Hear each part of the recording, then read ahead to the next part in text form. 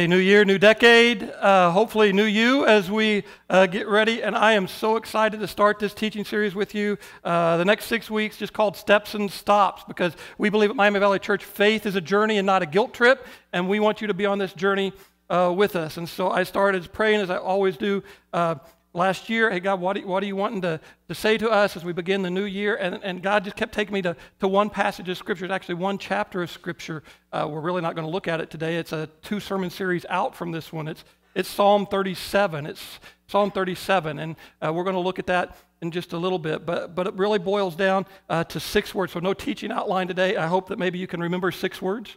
Really, it's going to be 10. And so six words, but really it's 10, so maybe you can grab a hold of all 10 of the words uh, by the end. But uh, I've just been wrestling with this passage of scripture from, from Psalm uh, 37, and, and, it really boils down uh, to this the spiritual journey, all spiritual movement boils down to, to one question Will I trust God? And if the answer to that question is no, my spiritual movement is going to be backwards. The answer to that question is yes, I will trust God, the spiritual movement's going to be forged. There is no spiritual movement without answering that question in every situation and everything we face. Will I trust God? And so as we begin this new decade, I, I, want us as a church, because this is kind of where, where I'm living, I, I, want us as a church to, to dig into Psalm 37, like say two sermon series out. We're going to preach all the way through all 40 verses of Psalm 37. But Psalm 37 is, you know, right in the middle of your Bible, there's this ancient hymn book. We don't have the, we don't have the music, but we have the lyrics, and it's 150 songs. And the 37th song, written by David, he kind of looks back at his life. In fact, he says uh, at one point, he, sa- he says this I have been young, now I'm old. Who can say amen? That's how I'm feeling uh, this, this point in my life. I, I've been young and now I'm old. He, he's looking back. And, and there's, this, there's this beauty about looking back at life. But one of the things he wants to tell us as we dig through Psalm 37 is you don't have to wait like I did. You, you don't have to live life with all hindsight. And so our prayer for 2020 is that as you get to the end of 2020, that it's not all hindsight and one of the things that God's just been, been stirring inside of my spirit is, and I, and I heard it even this morning with people say, Yeah, I said any New Year's resolutions, any New Year's goals. And people say, Well, I do, but I never conclude them. And somebody actually said, hey, Yeah, uh, I, I want to go to, the, I want to exercise, but hey, if you want to exercise, wait a month because the gym's going to clear out because we just don't follow through. Because I heard Bill Gates say this the first time I've ever heard it, you Google it, and it's a tribute to a whole lot of different people. But I heard it first from Bill Gates. Bill Gates says uh, that we overestimate what we can do in a year and we underestimate what we can do in 10 years. And so, as a church and as individuals, individuals in, in my life, uh, in, in your life, and in the life of our church, I want us to start thinking about some decade long goals. 3,649 days from today is January 1st, 2030. What are you going to do with the next 3,649 days? Hey, Tim, God's word says, I don't know that I'm going to get tomorrow, and you're absolutely right. You don't know. God's word also says we should make our plans counting on God to direct our steps. And, and, part of this is Psalm 37. As I've, I've been wrestling through, I was, I was young, now I'm old, and I look back. And part of this I'm blaming on social media because you saw as uh, 2019 ended the, the decade challenge, right? Post a picture of you in 2009, post a picture of you in 2019. Notice the difference. And I just want to know what are your spiritual goals? What do you want to look like 3,649 days from today in your relationship with God? Hey, Tim, I, I don't know. I want you to start thinking about. I don't want you to just think about uh, year-long goals. I want you to think about decade-long. For some of you, that means uh, you're 15. 10 years from now, you'll be 25. High school's over, college is over, career has started. Uh, what do you want to look like? For some of you, that means you're, you're raising children and your child's now seven. Uh, 3,649 days from now, they're going to be 17. What spiritual truths do you want to impart into their lives before they leave your house at age 18? If you don't get intentional about it now, what do you want to do? 55. 3,649 days from today, I'll be 65. And there are some things that God's beginning to stir inside of my heart that I want to see happen. Because you see, as of today, I'm 20,253 uh, days old. That means January 1st, I'll be 23,902 days old if God gives me those days. Tim, that's just silly. Why are you talking about that? You, have been around Miami Valley Church long enough. If not, this is your first time. You know, I, I rely heavily on the scripture that God says, teach us to number our days so that we may gain a heart of wisdom. Most of the time, we look backwards as we number our days. What did I do with the first 20,000 days? Uh, I kind of failed here, here, and here. What about, what about looking at the next 3,649 days? Should God be so gracious to give them to you? That, that you number those days and you say, I want to gain a heart of wisdom. So I can go, I, I was young, but now, now I'm old, and I was intentional about the days that God had given me. But David's, David's challenging us in Psalm 37 to, to think long term, think lifelong. What are you going to do with the next decade? Physically, spiritually, relationally? But what do you want to see happen? It's okay to dream that dream. But David's looking at life. I was young, now I'm old. I'm looking back at life, and there's so much in life and so much in the world. There's, there's so much injustice around, and, and, and, and evil people prosper and good people suffer. Why is that going on?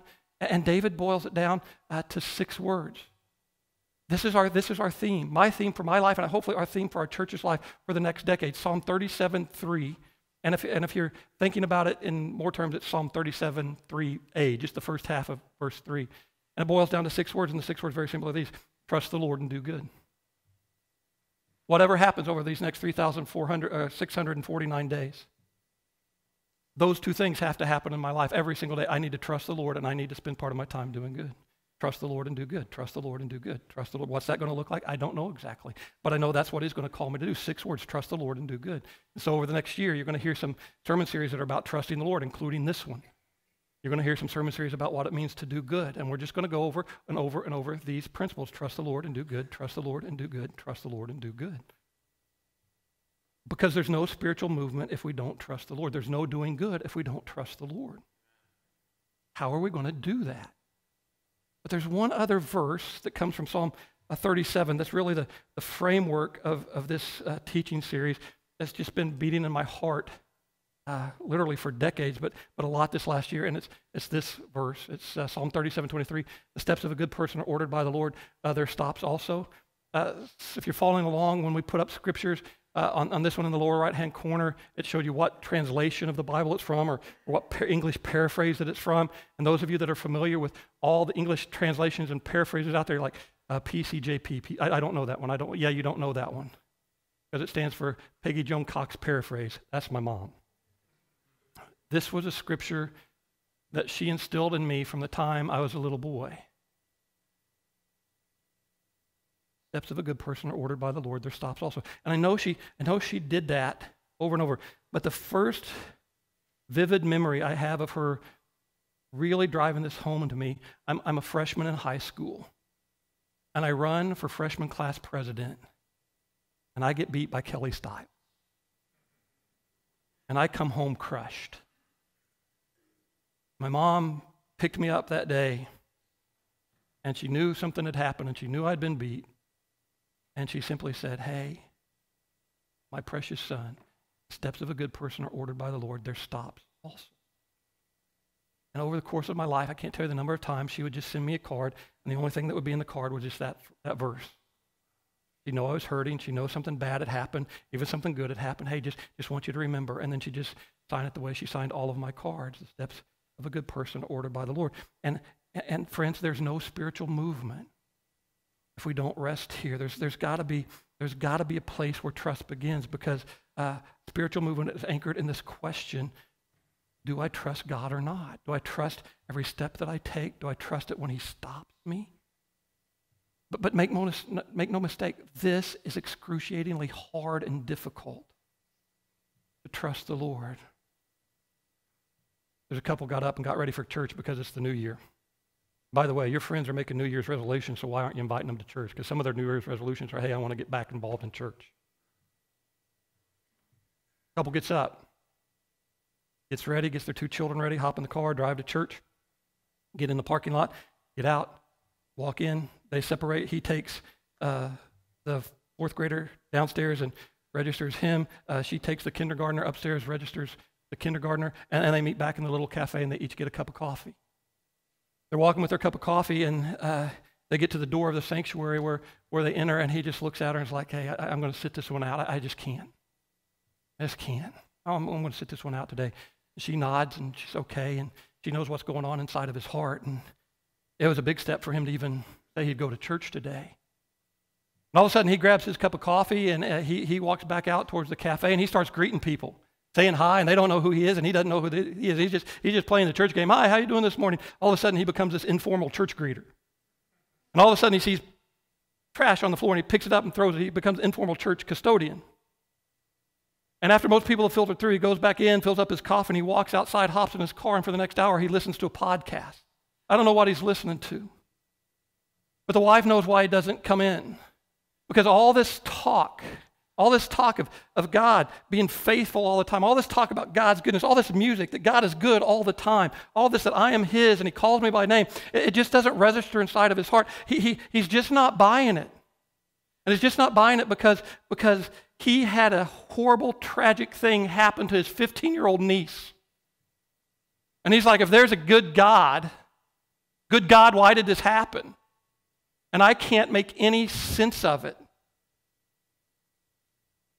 And for every person that's like that, that made it to the door of this church sanctuary, to the door of the worship area, there are scores more that just stayed at home today because they're like, I, am just not buying it that God's good and God's faithful that God's reliable and that God can be trusted. And, and for others that are staying at home, there, there, are several that are like, I'm going to give this another shot, but, but they're sitting in rooms like this all across oh, the world today, arms folded, minds blocked. They're like, yeah, I'm just not buying it. I'm just not buying it. And, and here's the reason they're not buying it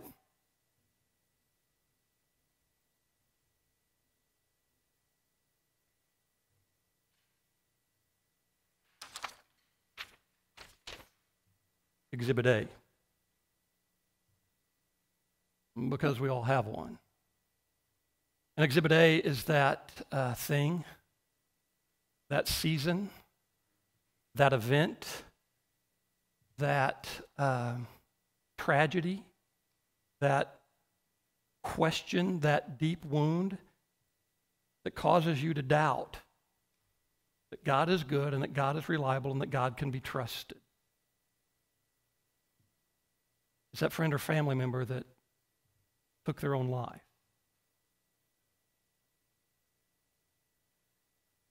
It's that parent that you watch cancer eat away at their body. And if anybody in the world that didn't deserve that, it was them. And if God would cause that in somebody like them, I, I, he can't exhibit A. It's sexual abuse or sexual assault. It's the tornado that took everything away.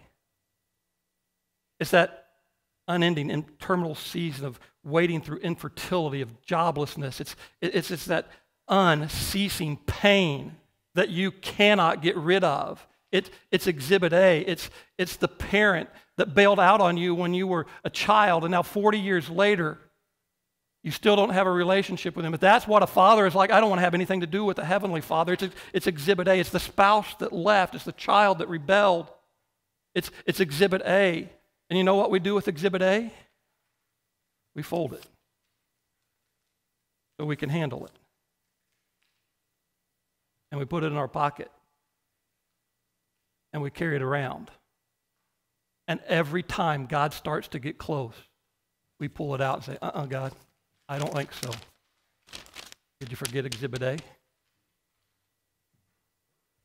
And we block him off. And it's hard to hear all this talk. And I just want to warn you be very careful how you handle your Exhibit A. Because over a long period of time, if you hold on to Exhibit A, your heart will grow hard, your spirit will become callous, and God will seem distant. But I have good news for you today. Beneath this lid, I have irrefutable proof that God is good and can be trusted all the time. But that's for later. Over the next few weeks in this series, Steps and Stops, we're going to be looking at some people in the Bible that had a decision will I trust God? Because all spiritual movement rests on this question if I say no, backwards. If I say yes, forwards. We're going to be looking at the life of Abraham. We're going to be looking at the life of Joseph, not, not the one that married Mary that we just talked about at Christmas, but the Old Testament Joseph. uh, we're going to be looking at the life of Moses. We'll spend a week on the life of David.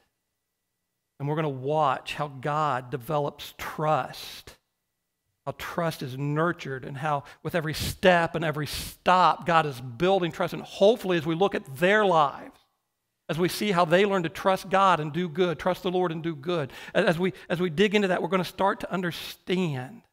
But, but where do you start? I don't want to start there because I don't think that's the, that's the foundation of trust. What's, what's the beginning of trust? Where do we go? And I think if we want to really understand trust, where do our feet land? When we want to whip out Exhibit A, I think we have to go back to creation, the very beginning. Listen to the opening words of the Bible. In the beginning, God created the heavens and the earth, and the earth was without form and empty, and darkness was over the face of the deep, and the Spirit of God was hovering over the face of the waters. And God said, Let there be light, and there was light. Check this out. It says, uh, it says the world, it was, it was empty and it was dark. And you know what God does when things are empty and dark? He turns the lights. And there are some of you, if I were to ask you as you start this new year and this new decade, hey, how you doing? If you were honest, you'd look at me and say, Tim, I'm just empty. Christmas didn't do it for me. The new year didn't do it for me. I'm, I'm alone, hurting, I'm struggling, and, and, and, and, there's, just this, there's just this emptiness inside of me. If some of you, I ask you, hey, tell me how you're doing right now as you start this new year and this new decade, you would say, hey, Tim, I'm in a really dark place. I don't see any light anywhere around me. I don't see any hope for the future. Everything, I, have faked my way through it as much as I can. And truth be told, life seems empty and life seems dark. And I have really good news for you today that the creator of the universe, when things are empty and dark, turns the light. And it gives you a new perspective. And it boils down to this Will you trust me? If empty and dark is all you have to bring God this first day of this new year, this first Sunday of this new year and this new decade, bring it. Bring it to Him. Be honest. And ask Him to turn the lights on. And watch Him do what only He can do. And so this, this Genesis chapter 1 begins, and you, and you remember, it's a poem. It's got rhythm and it's got cadence. And it goes like this, and God said, and it was so. And there was evening and morning. God said, and it was so, and it was good, and there was evening, and there was morning, and God said, and it was so, and it was good. It was evening and morning. And the very fabric of creation, the scriptures do not begin with trying to prove the existence of God. The scriptures, the scriptures begin with an understanding that behind every craft there is a crafter. Behind every intricate design there is a designer. Behind, behind everything that's engineered, there is an engineer. Behind everything that is created, there is a creator. And this creator says from the beginning of time, I am good. Scripture opens up, and God said, and it was so, and it was good. Will you trust me? And you listen? And off the pages, the very first verses of the Scripture, this just explodes. I'm looking for people who will trust me and trust that I'm good. Here's why. Because the minute you doubt God's goodness is the very second you ditch God's word. The minute you doubt his goodness is the minute you ditch his word. And his word to you is, I love you, I care about you, I'm good, I have something in store for every day of your life. Listen to what he said about mankind. Then God said, Let us make man in our own image, after our likeness. So God created man in his own image. In the image of God, he created him. Male and female, he created them. And God blessed them and said to them, Be fruitful and multiply, and fill the earth and subdue it, and have dominion over the fish of the sea, over the birds of the heavens, and over every living thing that moves on the earth. And it was so. And God saw everything that he had made, and behold, it was very good. And there was evening, and there was morning, the sixth day. And it was very good. And the creator of the universe from the outset says, I need you to trust that I am good. And when I say something, it happens. And when I make a promise, it is fulfilled. And I need you to trust me. Where do your feet land? when you're called to trust God? What, what's, what's rock bottom for you? Where, where does he show it? And I believe with all of my heart, he shows it to us in creation. And we're too busy to see it. Our oldest daughter was home over the Christmas holiday, and uh, we're just talking. She's sitting on the other couch and she comes, Hey, Dad, I want to show you something. I want to show you. She pulls out her phone, comes over, and she says, I know how much you love sunsets. I want you to see this sunset. And it was a spectacular sunset. I'm like, What filter did you? No, this is just taken from my camera. And it was beautiful the, the majestic oranges and purples and pinks. It was just a gorgeous sunset. And she's like, But I need you to know the story behind it, Dad. Like, okay, what's the story behind it? Said, I had been having a lousy day at work. And I'd been grumbling and complaining all day and I was snippy with people, and, and uh, I was sarcastic, and I was just, my, my wit was, was biting, and it just wasn't a good day. And I'm just not having a good day. And I'm driving home, and I get to this stoplight, and I look up, and I see the sunset, and it's as if God said, shh, stop, look up. And I saw the sunset. And I remembered in creation that regardless of what else was going on, He was God, He was good, and He was in control. And he simply says to me, Trust me. And this is why I start here. This might not seem to be a good starting point for you, but this is a starting point for me. And my feet have to land here. Remember those things I shared with you about, about why it's so hard? Exhibit A a friend takes their own life. Happened to me last decade. Cancer eats away at my mother in law's body. And we literally watched her wither away in our home as we had hospice care in our home. Happened to me last decade. Parent struggling with Alzheimer's. Going to my mom and dad's home, and my mom is struggling, and Autumn's dad in the veterans home struggling. And I'll never forget sitting in my parents' home last decade at the kitchen table. My mom walks out of her bedroom, and it was the very first time in all of her life she didn't know who I was. And she was scared. And she called out for my dad, and he wasn't there. Happened to me last decade. The tornado that took everything away. Autumn's mom and dad lost their house. My mom and dad lost their house. 163 people in the town we grew up in killed by an EF5 tornado. Friends, it happened to me last decade. And I got to be honest, all this stuff starts to happen another decade, and you're like, okay, God, really? I, I got exhibit A, B, C, and D. Where do your feet land? And over the last decade, God's feet took me here. Tim, take a walk outside. See the sunset, listen to the birds. Hear the turkeys, the animals, not the people. See the sunrise, see the sunset. And for me, it's where my feet land. The very beginning. Fascinating story in Acts chapter 14. The early churches has been under persecution, and the church moves from Jerusalem across the ancient Mediterranean world. And there's this guy, his name's Paul. He had an encounter with Jesus when his name was Saul. He'd been killing Christians. And he has this encounter with Jesus on this road to Damascus, and he and another guy start taking trips around the ancient Mediterranean world, planning pockets of Jesus communities all over. On one of the trips, he's with this guy named Barnabas, and they, and they come to this city uh, called Lystra. Uh, I don't know if you live in Lystra, or does that make you a Listerine? I'm, I'm not sure. By the way, uh, for those of you that are counting this decade, that's Pastor Tim's corny joke number one. And so you can keep track all decade long if you want to. And so, uh, but, but they're in this city called Lystra. And, and, and Paul and Barnabas are speaking the word of God. But, but before they speak the word of God, they, they do this amazing thing. They heal this guy that can't walk. And the people are amazed. And they, and they rise up and they don't speak the language, but they start coming towards uh, Paul and Barnabas. They're like, what's going on? What are they saying? What are they saying? And all of a sudden, they start bringing bowls of things to sacrifice and animals to sacrifice. And what's going on? They say, hey, um, we need you to understand. They think that you're Zeus and Hermes. The gods come down from heaven to visit them. Well, like, no, no, time out, time out. That's not who we are. And he preaches this sermon. And in this sermon, in Acts chapter 14, it's only three verses long. And he says, No, no, no, no. I, I, that's not who we are. We worship the Creator, the living God, the Creator of the heavens and earth.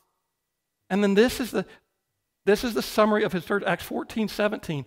It, it says this Yet he, God, has not left himself without testimony. He has shown you kindness by giving you rain from the heavens, crops in their season, provides you with plenty of food, and fills your hearts with joy. End of sermon.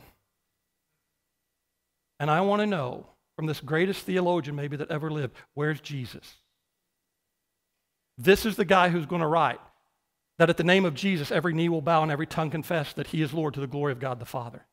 This is the guy that's going to write if you confess with your mouth that Jesus is Lord and believe in your heart that God raised him from the dead, you will be saved. This is the guy that's going to write, the wages of sin is death, but the gift of God is eternal life through Jesus Christ our Lord. Where's Jesus in this sermon?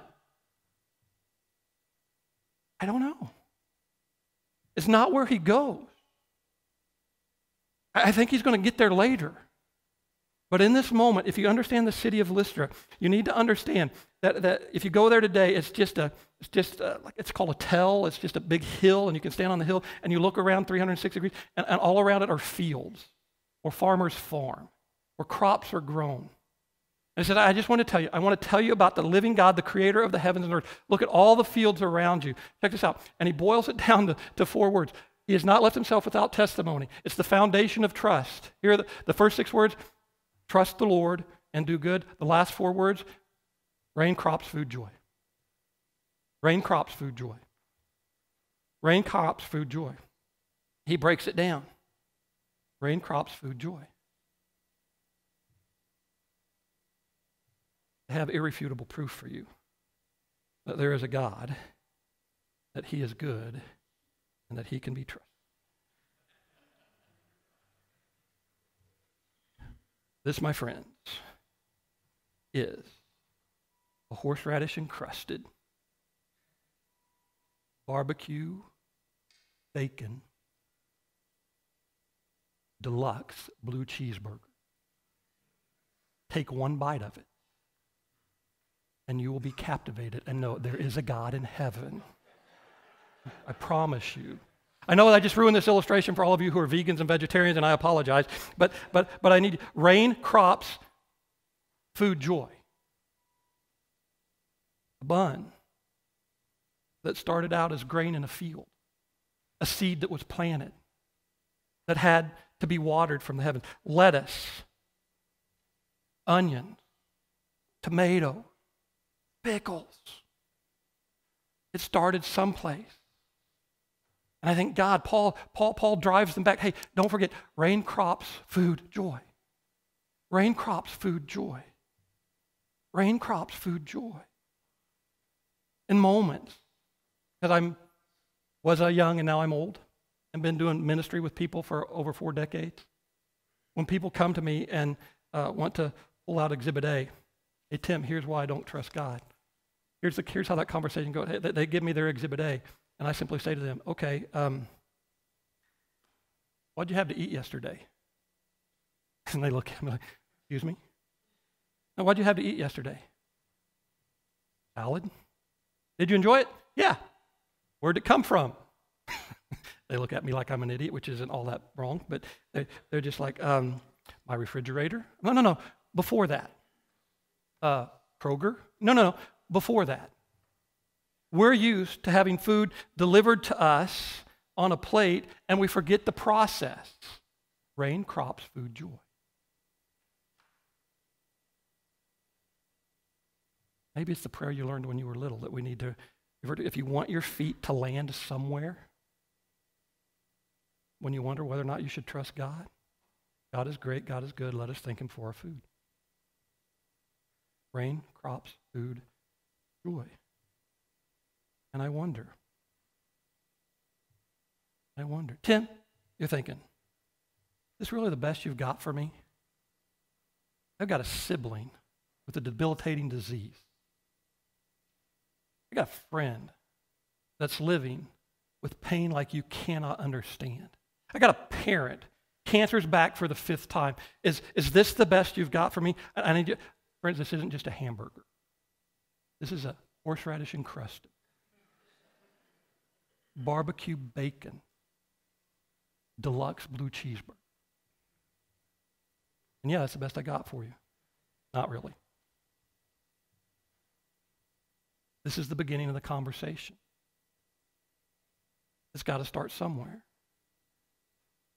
and we take it back to creation rain, crops, food, joy. Why the scriptures say, taste and see that the Lord is good. I love the holiday season, Thanksgiving to New Year's. And one of the reasons I love the holiday season, because it's at the holiday season, that holiday period of time, it's okay to talk about food. Have you noticed? You can ask people, what do you eat at Thanksgiving? What are your family traditions? What's your favorite thing? Hey, what's your, what's your Christmas tradition? Hey, what's your New Year's Day tradition? What do you eat at New Year's Day? And we've lived in, in different regions of the world, and that answer is different. We live in southwestern Pennsylvania, and the answer is uh, kielbasi and sauerkraut. Some people in other regions where we lived, it's some kind of pork and sauerkraut. Where we grew up in southwestern Missouri, that part of the country, New Year's tradition is black eyed peas and cornbread. There's just this sense we, we eat something different. And, and for some people, it's, it's, good luck. But I think it's more than that. I, I think it's a, it's a moment as we think about all these foods uh, rain, crops, food, joy. Taste and see. When's the last time you bit into an apple? Crisp apple tangy orange. And he just stopped and said, Rain crops, food, joy. This is from the hand of the Creator who is good and he can be trusted. If he can be trusted to send rain that produces food, that produces crops, that leads to food, that leads to our joy, the very essentials of life, can he be trusted with everything else? But this is an important conversation for the guy that's sitting out in his car right now listening to his, uh, listening to his podcast. What do you say to him? Tim, Exhibit A. My niece. Horrible, horrific thing happened to her, 15 years old. Is that the best you got for me? How do you have that conversation with him? Well, well, well it, it depends. Friends, I understand that I'm, I'm, I'm skating on thin ice here because grief and pain, it's real and it's powerful. And there's so many ways to process it. But, but how do I have that conversation with him when he pulls out his exhibit A? Well, it depends. I need to know when did this happen? Is this three weeks ago or is this 13 years ago? If it's three weeks ago, I simply say to him, I cannot imagine the unbearable pain that you're going through. I cannot imagine the hurt and the depth of what it is you're suffering. I want you to know that this is a safe place for you to even question God. This is a safe place for you to wrestle with your doubts. People here are going to love you. I, don't know the exact pain, but hey, yeah, last decade these things happened to me too, and, and it was almost unbearable. I, I can't imagine. But, but can I encourage you? Here's what I know is going to happen while you're grieving, while you're in hurt. God's going to pursue you, and He's going to move close. Be careful that you don't take out Exhibit A and push Him away. Because if you keep doing that over a period of time, your heart's going to grow hard. I'm not saying it's there yet, but it's going to grow hard. This happened 13 years ago. The conversation's way different. Begins the same way. Hey, I am so sorry. I cannot imagine the unbearable pain that you're living with. And you've been living with it for over a decade. My heart hurts. But can I, but can I, can I just be really careful here and just say something to you? What I've noticed in my own life and what I've noticed in the lives of other people is this that sometimes pain from the past becomes a smokescreen for living life the way we want to live it.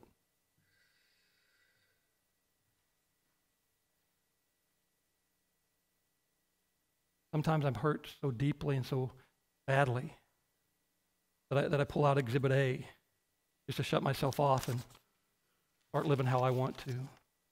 At times, my, my pain is so deep that it allows me to keep God at an arm's length.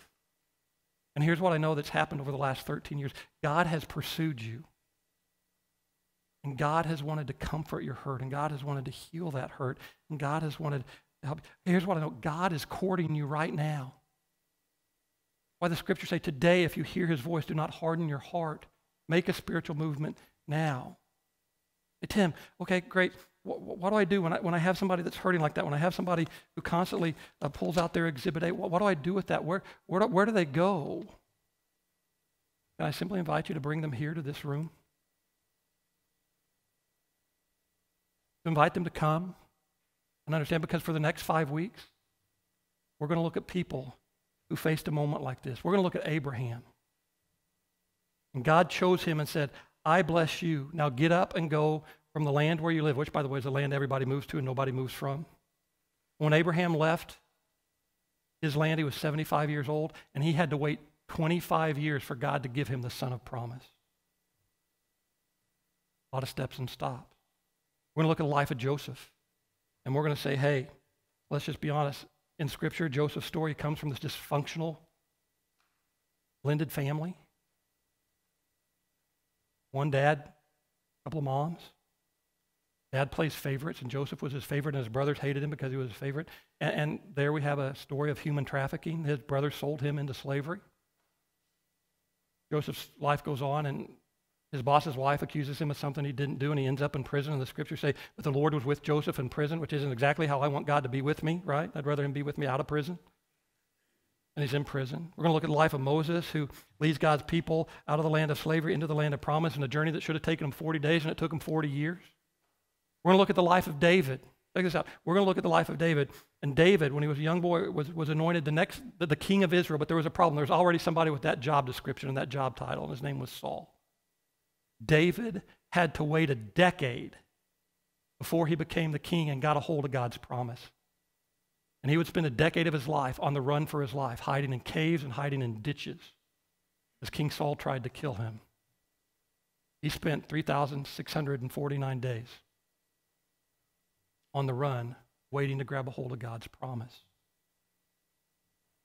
And he gets to the end of his life and says, I was young and now I was old, and now I'm old. And my conclusion trust God. Trust the Lord and do good. Trust the Lord and do good. If that doesn't do it for you, trust is vital and foundational for all spiritual movement. If you, if you need another picture, another illustration, it's kind of hard to use this because it's so nice right now. 74 days from today, spring comes. Those things that seem dead come back to life. What are you going to do? If you need some place to start, trust the Lord and do good. Rain, crops, food, joy. One last verse of scripture that I want you to take with you today. Again from David's pen as he writes a song, Psalm 62 8. All my people, trust him all the time Pour out your longings before Him, for He can help. What are your longings for the next 3,649 days? Trust Him. Pour them out to Him. He can help them come true. Will you join me on the journey? Because we believe faith is a journey, not a guilt trip. Join me on this journey, this next decade, what it means to trust the Lord and do good with all of our steps and all of our stops. Would you stand with me? I pray with you. And before you rush the stage trying to get a hold of my horseradish encrusted barbecue bacon,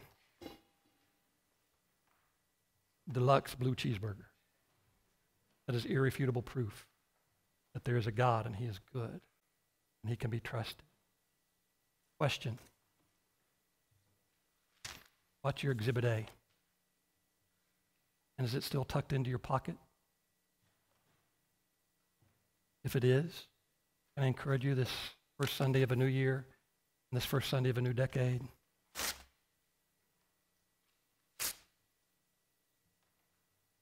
Rip it up, toss it away, open your hands, and trust Him with everything you've got.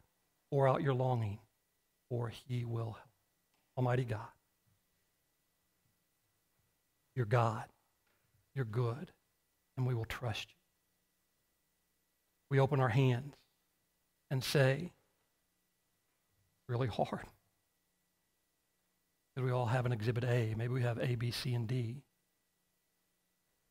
God, today we throw them away and simply say, we don't know exactly what this looks like, but God, we will trust you.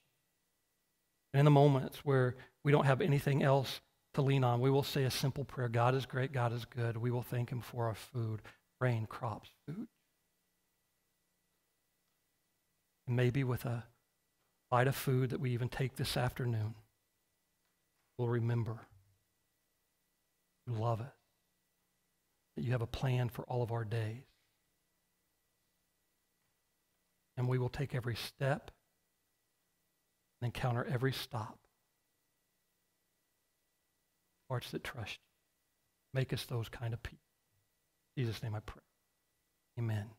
If you made a decision today, uh, we would love uh, to talk with you and pray with you. I'll be hanging around. Pastor Woolard will be hanging around down front. We'd love to talk with you. If you came today ready to give, or let us know how we can help put that in the box as you walk out. God loves you. I love you. Today, tomorrow, every day of this decade that God gives you breath. Trust the Lord and do good. We'll see you next week.